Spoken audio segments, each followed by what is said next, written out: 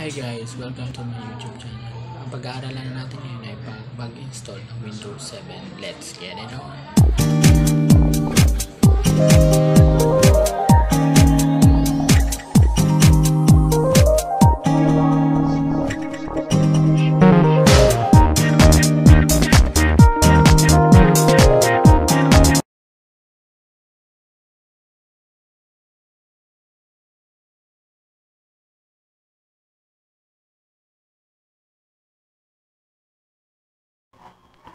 Okay, pupunta muna tayo sa CMOS configuration. Na, bubut natin yung USB drive tapos save natin. Yan, USB hard USB hard drive and then save, exit. Yan, yes. Hintay po natin. Naglo-loading.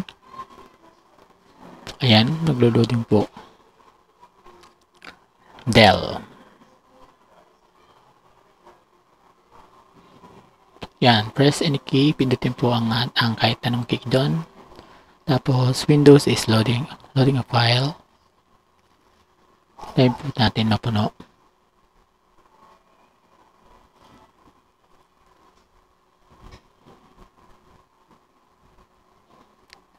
Starting Windows. Yan po, naglo-loading siya nag-animated yung apat na kulay niya. Meron orange, blue, yellow, green. Windows 7. Yan. Windows 7. Language, English. Next. Click. Tapos install. Install now. Click. Setup is starting now. Ang setup ay nagsisimula na. Wow. May ganun. Loading. Yan. Please read the license term. Custom. Click next. Yan. Say drive. Next. Save natin yan. Next. Tapos, pagkatapos ng 100% na mag-install niyan ay ma ma-install na sa Windows 7. Tayo natin ma 100% kapag ni-next.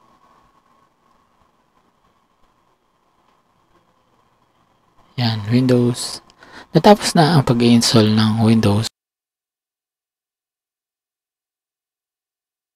click po natin ang I accept the agreement. Tapos next tapos pipili tayo ng Windows natin. Windows Ultimate. Oh.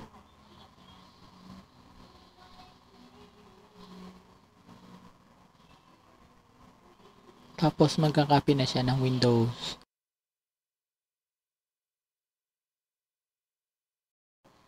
Ayan, hindi po natin matapos ang pagkakopy ng file, copying file, extended file, hanggang makarating dito sa Ayan, hanggang matapos.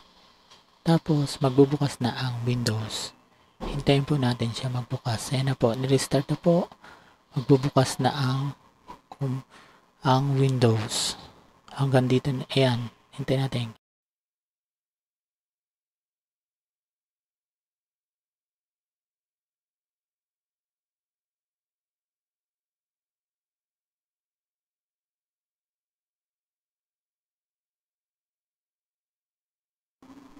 Thank you for watching. See you on my next vlog.